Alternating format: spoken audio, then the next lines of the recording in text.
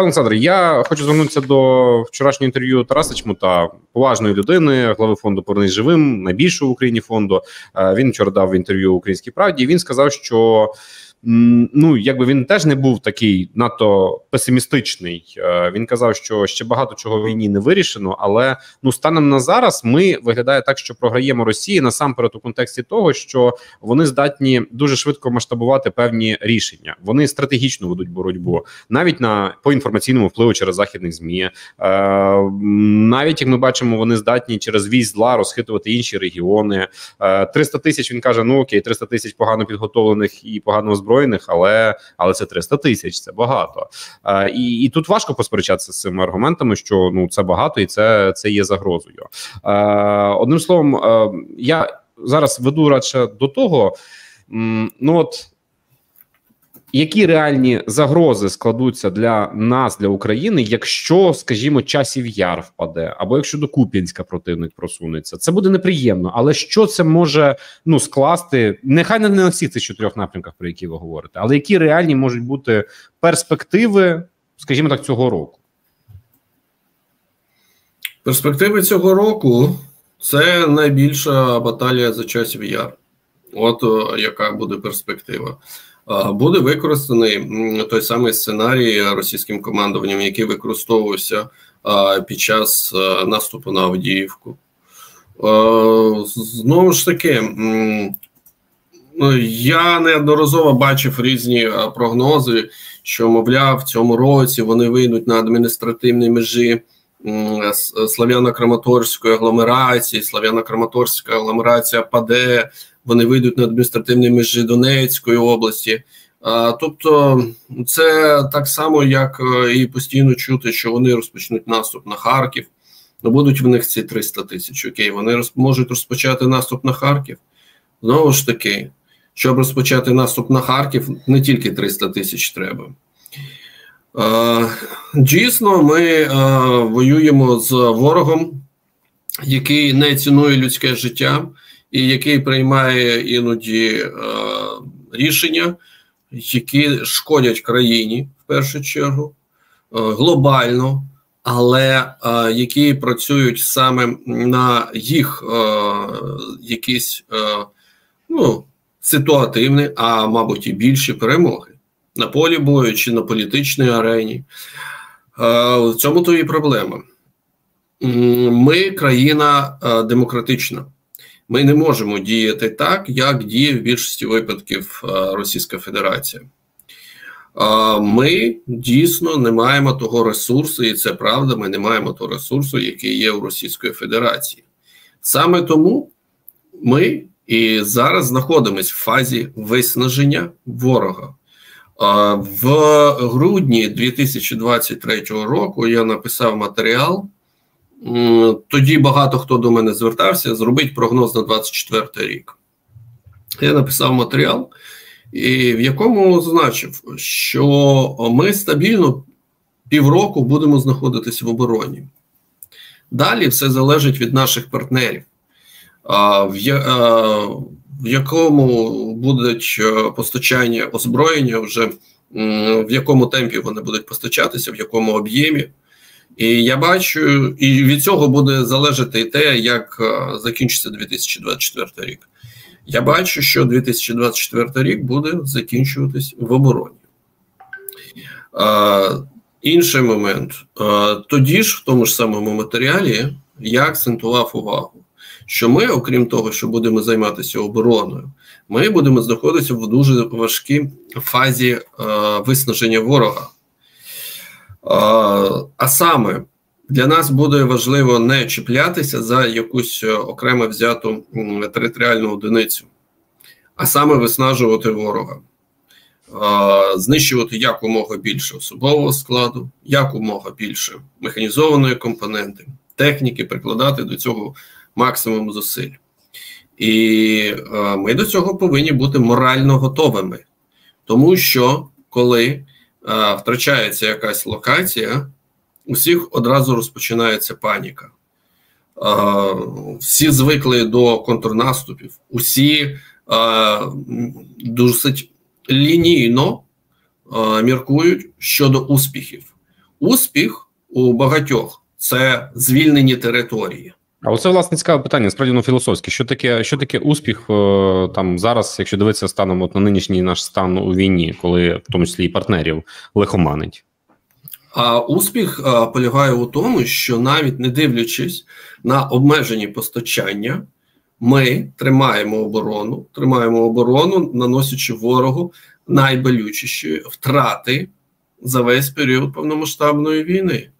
Бо ті втрати, які несуть зараз російські окупанти, вони не несли в 22-му році, навіть на самому початку війни, навіть всередині 22-го року, наприкінці а їх втрати зростають кожного дня, кожного тижня і місяця пропорційно. Антитеза. А їм начхати на це. Окей, так. Але у цьому є межа. Росія, скажімо так, це не як це не гумова дупа, яку любить Путін, а це все ж таки країна, в якій є своя межа і людського ресурсу.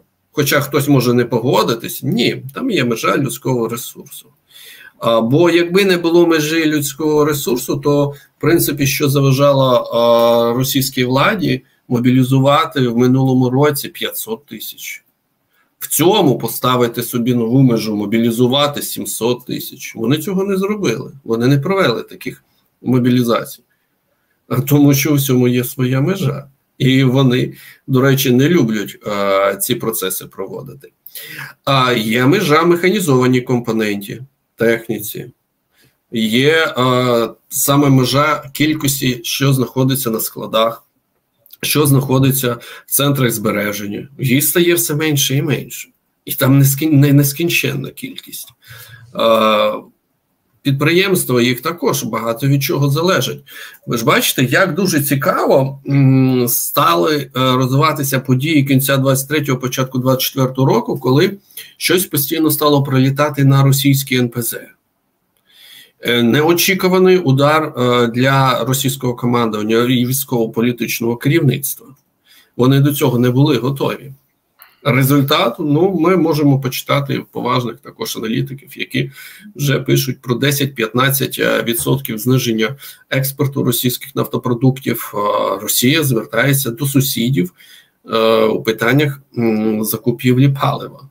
Ну, Цікавий такий країна бензоколонка закуповує паливо, паливо у сусідів, особливо у вам знову ж антитезу скажуть: ну і що? А якщо ми далі не б'ємо, нам США не дають, нас б'ють по руках, і Хто ми тут сказав? скуті, мало того, що хто сказав, що нам щось не дають США.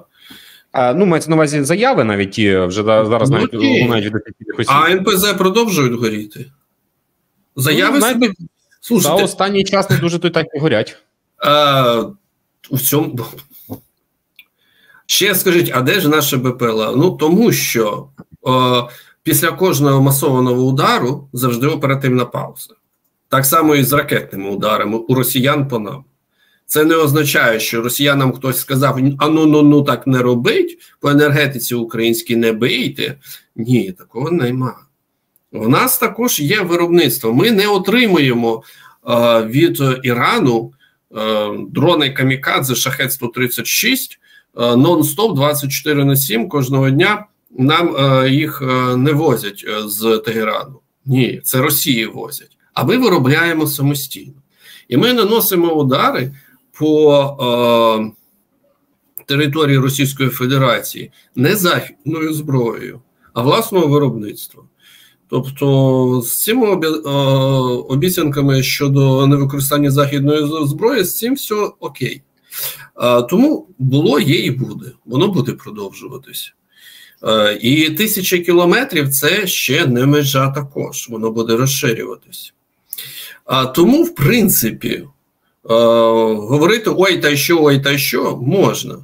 Але ми станом на сьогодні вже бачимо, що Росія вона хизується перемогою в маленькій Авдіївці, а по факту вона втратила свій наступальний потенціал, до якого звикли при загальновійськових армійських операціях.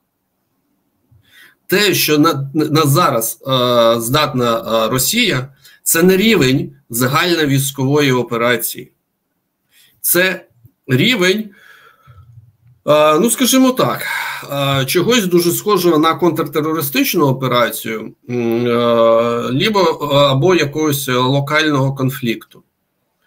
Хоча зовсім інший кількісний потенціал, але результат фактично такий самий. До речі, в 2023 році за час нашого контрнаступу в Запорізькій області було звільнено трохи більше. Ну не тільки в Запорізькій області, там ще на межі по мокрим ялам на межі з Донеччиною. Але за цей період було звільнено більше ніж 300 квадратних кілометрів території.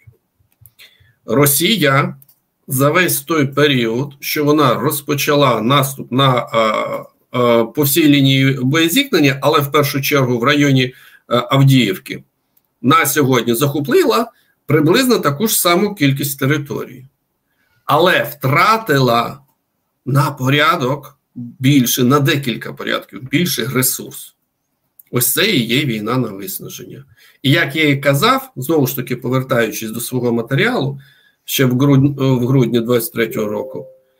Нелінійно треба розглядати події. І для нас важливо зараз виснаження ворога усіма можливими методами. При цьому ми не повинні прив'язуватись до територіальних одиниць.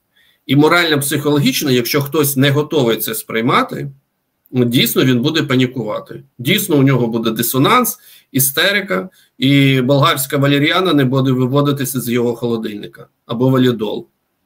Але це не метод якісної аналітики, це просто емоції.